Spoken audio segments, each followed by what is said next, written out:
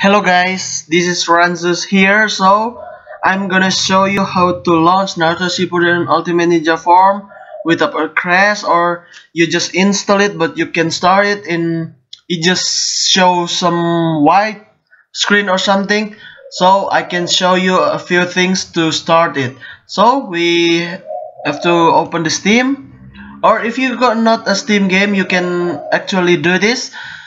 But I will show you how to in Steam game just like this Naruto Shippuden Ultimate Ninja Storm. So let's get going. First you're gonna open the properties here or if you don't have the Steam you go to directory the you install it just like this browse your local files. Just this is will pop out and you go to the config ini just open it and notepad gonna show. If you show the other application it's okay.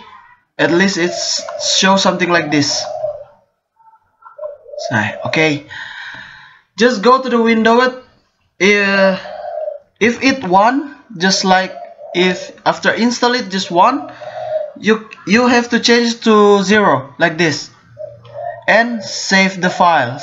Save it okay now you try to launch the Naruto Shippuden Ultimate Ninja Form Ninja Storm sorry. You can launch it now uh, and if the problem works please subscribe these videos and if you like to share it will be help. And thank you for your attention for the two minutes two minutes so thank you and see you again